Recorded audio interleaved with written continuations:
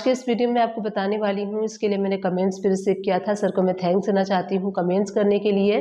Comments उनका ये था कि जो हमारे सनरी क्रेडिटर्स होते हैं, यानी कि जो आपके सप्लायर्स होते हैं, अगर आप एक जगह अपने सारे सनरी क्रेडिटर्स का लिस्ट चाहते हैं कि कितना लेन देन है उनसे तो इनका लिस्ट अगर आप एक जगह एक्सपोर्ट करना चाहते हैं या फिर आप पीडीएफ में एक्सेल में, किसी भी फॉर्मेट में एक्सपोर्ट करना चाहते हैं तो आप कैसे कर सकते हैं?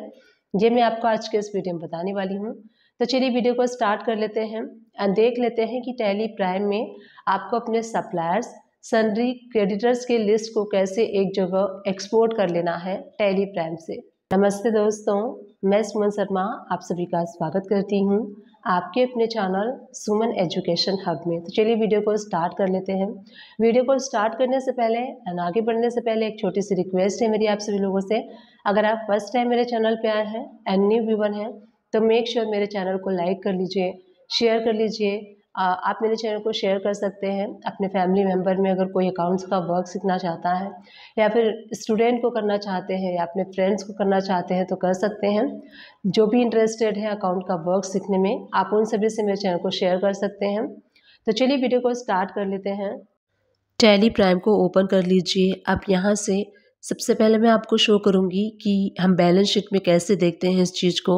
तो गेट वे ऑफ़ टैली से आपको शॉर्टकट की बी प्रेस करना है, बैलेंस शीट ओपन हो जाएगा। एंड यहाँ पे देखिए करेंट लाइबिलिटीज़ में जब आप एंटर प्रेस करेंगे तो यहाँ आपको सनरी क्रेडिटर शो होंगे, इस पर आपको एंटर प्रेस करना है। अब आप यहाँ देख सकते हैं जितने भी आपके सनरी क्रिएटर्स यानी कि जो सप्लायर्स हैं, उनकी लिस्ट शो होगी। यहाँ सिर्फ़ आपको दो लिस्ट शो हो रही है। क्यों? क्योंकि सिर्फ़ दो ही ट्रांजेक्शन हमने किए हैं। आप जितने भी ट्रांजेक्शन करेंगे वो सारे सनरी क्रेडिटर्स के लिस्ट यानी कि सप्लायर्स के लिस्ट आपको यहाँ पे शो होंगे। तो ये लिस्ट आपको शो हो रही है तो जितनी भी लिस्ट है आपको शो होगी। उसके बाद एक्सपोर्ट पे क्लिक करना है देन हम करेंट पे क्लिक करेंगे। उसके बाद देखिए, जो फ़ाइल फॉर्मेट है वो एक्सेल स्प्रेड शीट में ऑलरेडी है। अगर आपके पास ये नहीं है तो आप इसको चेंज कर सकते हैं। अब हम सेंड पे क्लिक करेंगे तो आपका जो फ़ाइल है, आप देख सकते हैं। यहाँ पे आपके सप्लायर्स का जो लिस्ट है, वो एक्सपोर्ट हो चुका है, आप इसको सेव कर सकते हैं।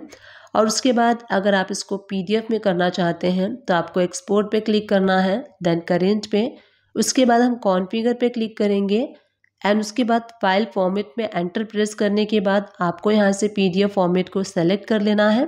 उसके बाद हम करेंगे सेंड पे क्लिक अब आप देख सकते हैं, वही सेम जो हमने जो सनरी क्रिएटर्स किया था, अब वो ही यहाँ पे सेव हो गया है पीडीएफ फॉर्मेट में।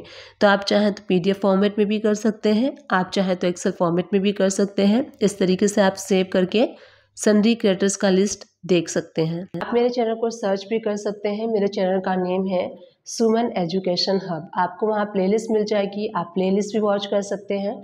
प्लेलिस्ट आपके लिए काफ़ी हेल्पफुल रहेगा। तो डेफिनेटली प्लेलिस्ट को वॉच कीजिएगा। आई होप ये जो वीडियो मैंने आप लोग के साथ शेयर की है, ये वीडियो आप सभी लोग के लिए हेल्पफुल रही होगी। अगर हेल्पफुल रही है तो एक छोटा सा काम कर दीजिएगा। जाने से पहले चैनल को लाइक, शेयर, सब्सक्राइब कर दीजिएगा। Thank you and keep watching my videos